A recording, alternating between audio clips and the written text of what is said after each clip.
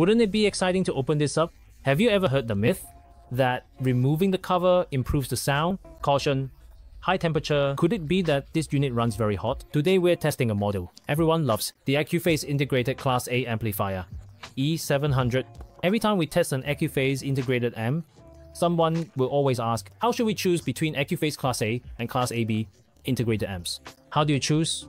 There are two Class A integrated amps from the brand, the anniversary model E800S and the E700 we're testing this time. So which one should you go for? In this episode, besides testing the sound, I hope to help you find the answer.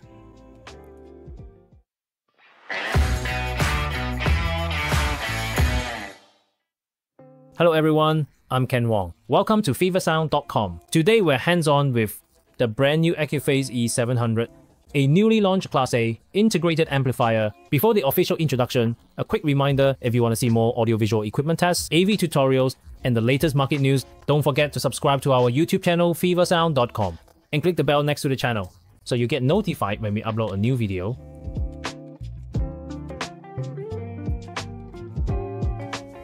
Unboxing. Accuphase boxes always look like this, very elegant. Even unboxing is a kind of enjoyment feels familiar. The remote control feels great. The included power cable, everything sounds normal. This unit is reasonably liftable. Caution, high temperature. Could it be that this unit runs very hot?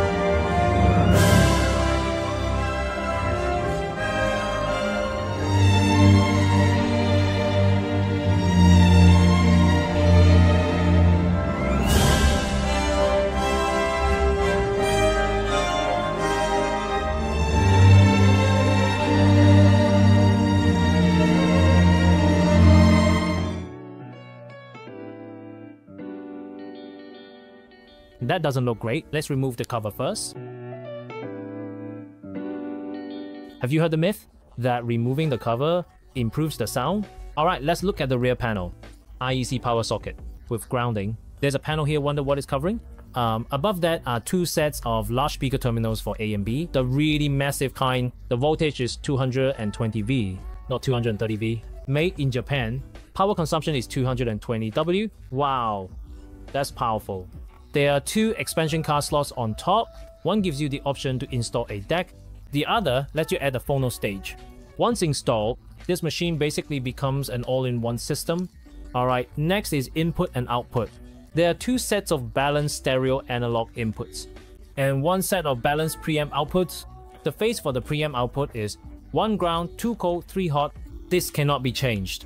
Then there's a power amp in, which allows it to be used as a power amp only. You can select the pin configuration here. Because when meshed with different preamps, the phase might differ. The single-ended terminals also have pre-out and power amp in. That's the basic setup. 5 sets of single-ended stereo analog inputs. Alright, that's all complete.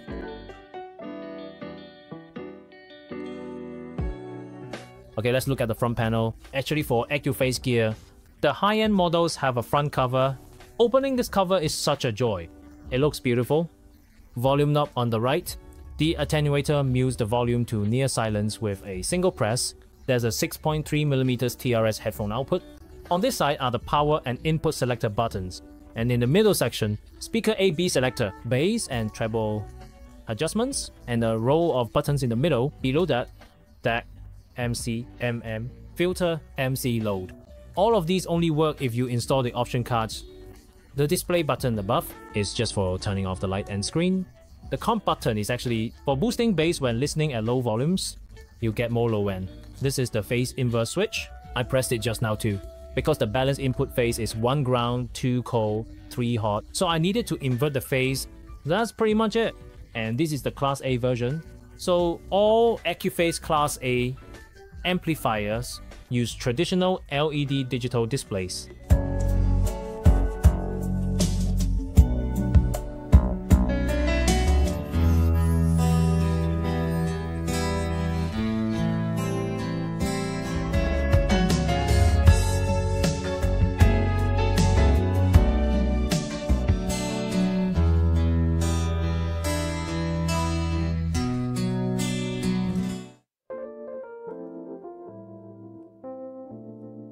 Speaking of Accuphase, every year the company updates their integrated amplifier lineup, split into Class A, B, and Class A models.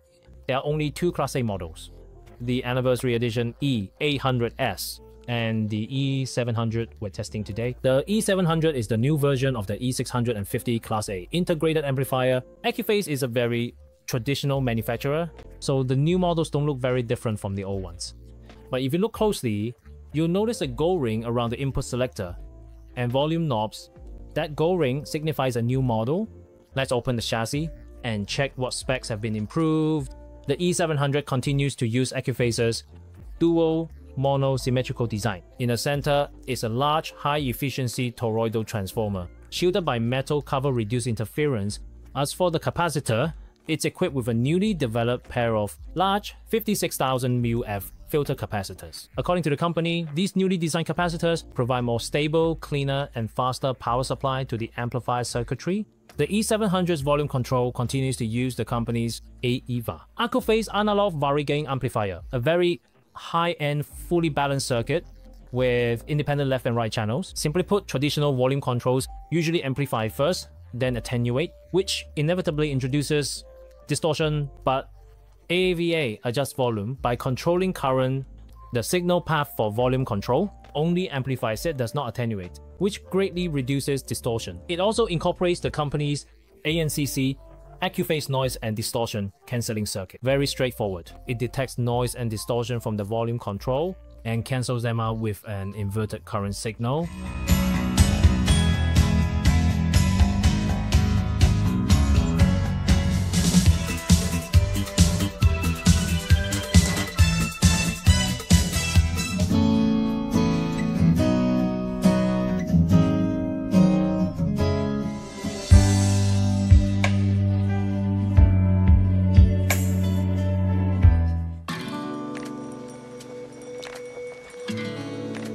Let's look at the power output. The E700 outputs 35W at 8 ohmega and 70W at 4 ohmega. Compared to the previous E650's 30W and 60W, that's a 16% increase in output. The E700's noise voltage is 11% lower than the E650, down to 29.6 μV. Signal to noise ratio reaches up to 103 dB. As for output transistors, it uses four pairs of MOSFETs in a balanced push-pull configuration Compared to the E650, which only has three pairs of balanced MOSFETs, the output impedance is even lower. And the driving power is stronger. Lower impedance also means the damping factor will be significantly improved. So the E700 guarantees a damping factor of up to 1000. 1000. That's already on par with the flagship Power Amp A80. Also, as you saw earlier, this unit has two expansion slots, which can be equipped with the latest DAC 60 digital card, and the AD60 Phono stage card. If you don't have over-the-top demands, this setup is more than enough. Dimensions are the same as the previous generation. Weight is 24.9 kilograms. Right now, the room temperature is 24.5 degrees Celsius. Accuphase Class A amps do run hot, but not excessively hot. Why do I say that? Because a thermal scan of the internal heatsink shows 50 degrees Celsius, but it doesn't feel like 50 degrees Celsius to the touch. The top panel measures 37 to 38 degrees Celsius. The front panel is 30 degrees Celsius, so when using this unit, you must leave space on top for ventilation.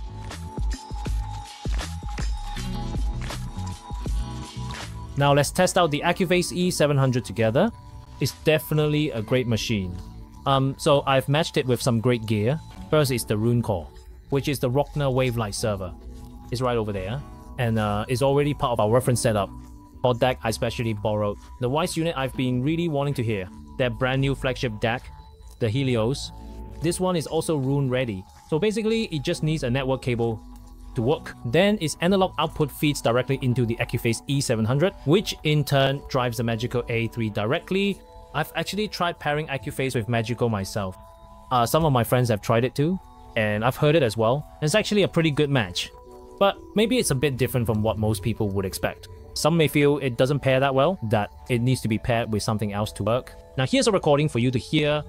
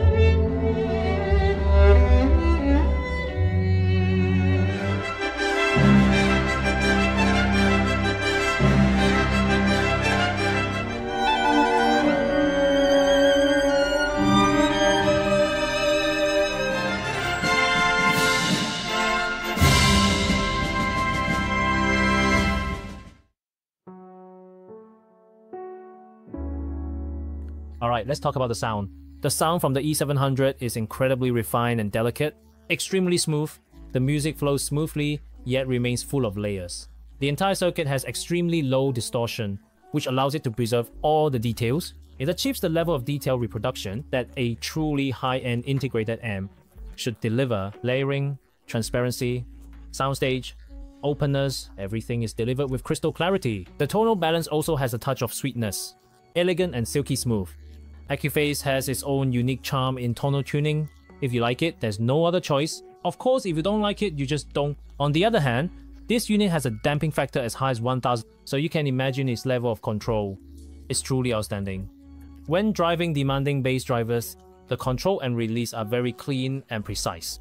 But what I think it does best is that, despite its strong control, it doesn't become overdamped. The sound still retains a natural sense of expansion.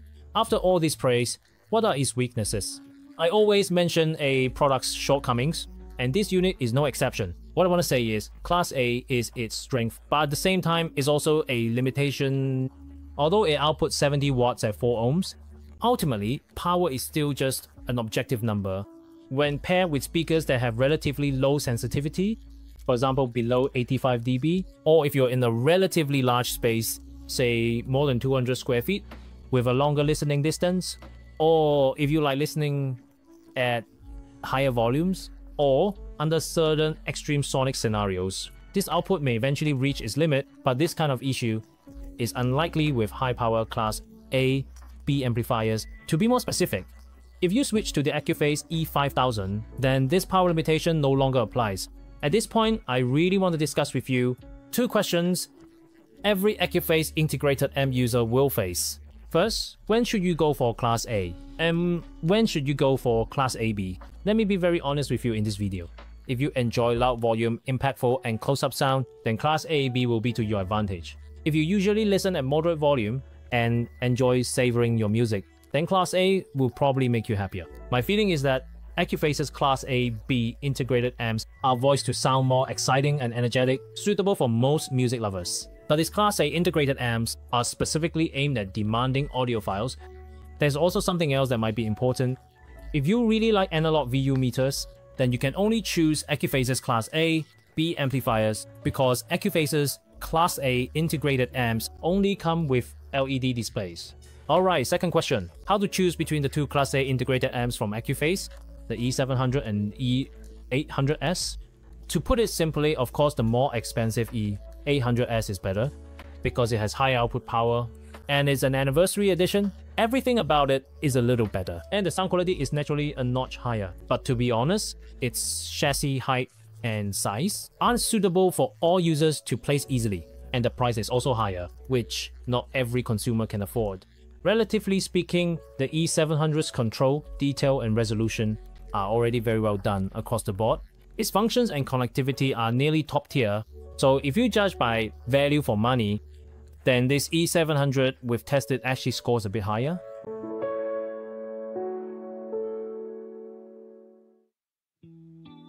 That's it for this hands-on test. If you're interested, check the video description to see the price and where you can listen to it. That's the end of this episode's test. If you like our videos, give us a like. If you haven't subscribed yet, remember to subscribe. And after subscribing, click the bell icon next to the channel so you get notified as soon as new videos are out. Aside from this unit, we've also reviewed other types of audio gear recently. Do you like this unit? If so, keep watching. That's it for this episode. See you in the next one. Bye bye.